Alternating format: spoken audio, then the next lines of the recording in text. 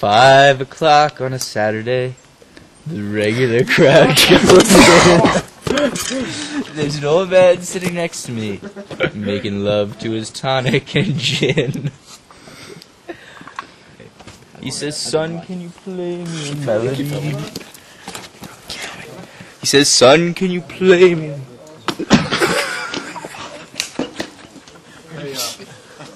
Are you kidding? that food weighed like 10 pounds.